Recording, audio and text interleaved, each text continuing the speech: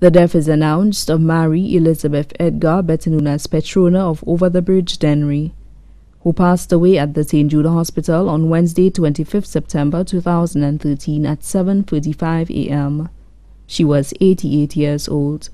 Left to mourn adopted sons, Ignatius Stanley Gilbert, residing in the USA, Josephat Alson Satney, residing in California, USA, adopted daughters, Cecilia Augie and family, residing in the UK, Alberta Satney of Dennery, Gilia Satney and Olivia Satney, Sandy Grimes, all residing in the USA, Grandchildren, children, Darcel de Gonzaga, Tyler Richard, Anicia Alphonse, Taishia and Abigail Grimes, all residing in the USA, Kimali Satney Regis and family, Ruben Satney and family, both residing in the UK.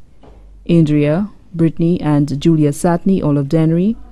Colin, Emma, and Tristan Satney, residing in California, USA. Glenn Ferdinand and Lisa Maffre, both of Dennery.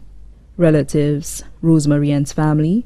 Verna, Cecilia Tracy, and Justin William. Maureen Satney and family. Peter Gilbert and family, all of Dennery.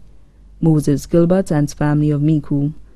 Also left to mourn, Lusas and family, the Polier family of Dennery and Bellevue, the Gilberts family of Dennery, Racobel family of Vieux Fort, Alma and family of Castries, the Fontenelle family of Ciceron Castries, Missole family of Dennery, the Dennery LaRose group, members of the Legion of Mary and Sacred Heart Confraternity group of St. Peter's Parish, Dennery the Club 60 group of Dennery. The funeral service of the late Mary Elizabeth Edgar, better known as Petrona of Over the Bridge, Dennery, will be held on Wednesday, 2nd October 2013 at 2 p.m. at the St. Peter's Parish in Dennery, and then the body will be laid to rest at the Dennery Cemetery. Please note that the body will be available for viewing from 1.30 p.m. The body now lies at the Lazarus Funeral Home, New Dock Road, Vieux Fort. May she rest in peace.